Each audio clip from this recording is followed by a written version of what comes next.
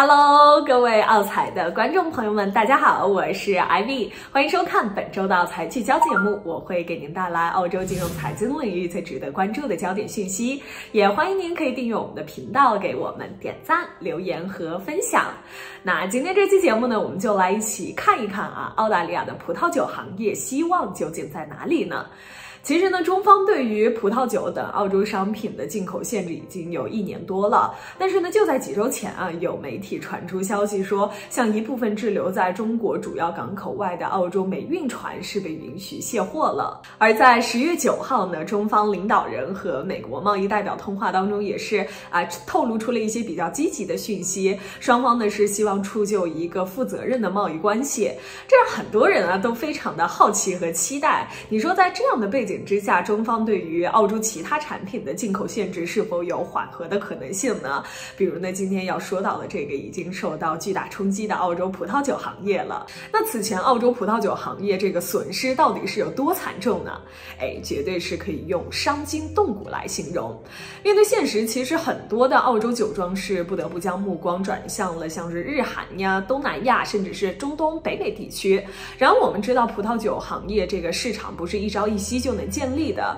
截至今年九月的一年之内，我们来看一下数据啊，澳洲葡萄酒行业的这个总出口额是下降了百分之二十四，市值呢是约为二十二点七亿澳元，其中呢对中国的这个销售额更是下降了百分之七十七。与此同时呢，像对华的出口商数量也是从一年前的两千两百四十一家，一个骤减到了七百五十家。但在这里有一个特别有意思的现象，因为在澳洲葡萄酒对中国大陆的出口呈现一个这种断崖式下跌的同时，在中国香港地区的销售额却是同比增长了百分之一百三十五。虽然呢，大家可以理解这跟香港本土的消费恢复可能有一个直接的关联，但是另外一方面啊，哎，大家来细细品一下，因为很多业内人士认为说，这很有可能是在于地下市场的活跃。换句话来说呢，当地的一些这个经销商试图正在找到一个进入大陆市场的后门。事实上呢，由于零关税这些便利的政策，香港是一个巨大的保税港，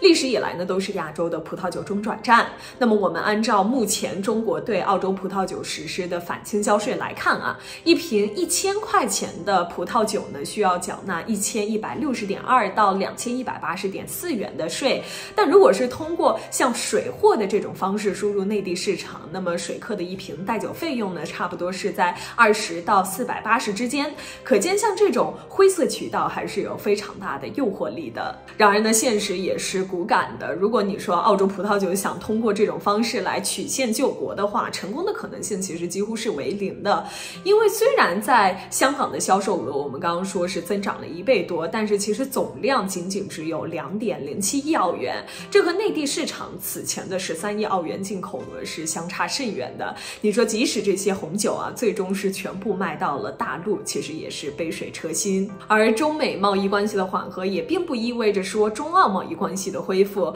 像澳洲煤炭得以卸货，其实也只是近期以来中国发电用煤紧张所导致的。那么以中方视角来看的话，澳洲联邦政府至今仍然是保持着一种敌视的态度。而在可预见的未来呢，这样的态势估计也是比较难以改变的。澳洲对华出口，尤其是农产品方面的出口，如果说想要完全的恢复，这种可能性也是并不高的。因此呢，像开拓布局其他地区，尤其是新兴国家的市场，也是成为了澳洲农产品出口企业今后需要持续去完成的事情。好的，那以上呢就是今天的全部内容了，希望可以给您带来一定的帮助。欢迎您留言讨论，也欢迎您关注奥财的微信公众号，我们的视频内容呢会在公众号上同步的推送。如果您想咨询更多澳洲投资方面的问题，欢迎扫码或者点击视频简介中的链接向我我们提问。